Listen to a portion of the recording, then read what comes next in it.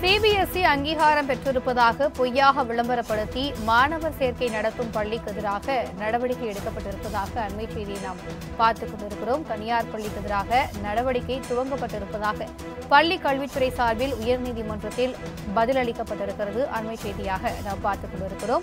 CBSE அங்கீகாரம் பெற்றிருப்பதாக பொய்யாக விளம்பரப்படுத்தி மாணவர் சேர்க்கை நடத்தும் தனியார் பள்ளிக்கு எதிராக நடவடிக்கை எடுக்கப்பட்டுள்ளது. தொடர்பான கூடுதல் விவரங்களை செய்தியாளர் கிருஷ்ணா வழங்க கேட்கலாம். வணக்கம் கிருஷ்ணா கூடுதல் விவரம் வணக்கம்.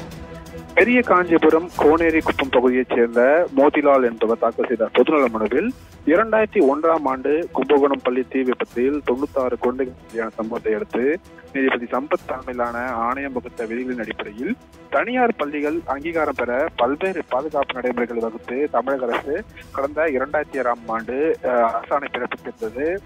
இதே சம்பவம் தொடர்பான வழக்கை விசாரித்த உச்சநீதிமன்றமும் பாதுகாப்பு நடைமுறைகளை மேற்கொள்ள உத்தரவிட்டிருந்தது என்றும் கல்வி உரிமை சட்டத்திலும் அரசு அங்கீகாரம் இல்லாமல் பள்ளிகள் செயல்பட அனுமதிக்க கூடாது என்று தெரிவிக்கப்பட்டுள்ளதாக சுட்டிக்காட்டப்பட்டுள்ளது. பள்ளி கட்டிடங்களுக்கு உரிமம் பெறுவது கட்டிட தன்மை சான்று பெறுவது உள்ளிட்ட நிபந்தனைகளும் இந்த சட்டத்தில் விதிக்கப்பட்டுள்ளதாகவும் மனுவில் தெரிவித்துள்ளார். ஆனால் மேன்ஷன் போல குறுகிய அறைகளுடன் எந்த அங்கீகாரமும் ஒப்புதலும் இல்லாமல் காஞ்சிபுரத்தில் விதை பப்ளிக் ஸ்கூல் eh, என்ற பள்ளி செயல்பட்டு வருவதாகவும் சிபிஎஸ்இ அங்கீகாரம் பெற்றுள்ளதாக பொய்யாக விளம்பரப்படுத்தி மாணவர் சேர்க்கை நடத்தி வருவதாகவும் தனது மனுவில் அவர் குற்றம் சாட்டியுள்ளார்.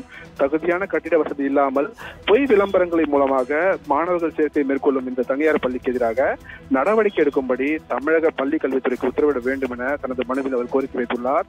இந்த வழக்கு பொறுப்பு தலைமை நீதிபதி ராஜா மற்றும் நீதிபதி மஞ்சுளா அடங்கிய அமர்வில் இந்த விசாரணைக்கு வந்தபோது சம்பந்தப்பட்ட பள்ளிக்கு எதிராக நோட்டீஸ் அனுப்பப்பட்டு நடவடிக்கை நடவடிக்கையை துவங்கியுள்ளதாகவும் மனுதாரரின் விண்ணப்பம் பரிசீலிக்கப்படும் எனவும் பள்ளி கல்வித்துறை தரப்பில் தெரிவிக்கப்பட்டது. இதை பதிவு செய்து கொண்ட நீதிபதிகள் இது சம்பந்தமாக மனுதாரர் அளித்த விண்ணப்பத்தை பரிசீலித்து உத்தரவு பிறப்பிக்க வேண்டும் என்று உத்தரவிட்டார். மேலும் சம்பந்தப்பட்ட பள்ளியில் படிக்கும் மாணவர்களை அங்கீகாரம் பெற்ற பள்ளிகளுக்கு மாற்ற நடவடிக்கை எடுக்கவும் தமிழக அரசிற்கு நீதிபதிகள் உத்தரவிட்டுள்ளனர் திவ்யா. கூடுதல் விவரங்களுக்கு நன்றி கிருஷ்ணா.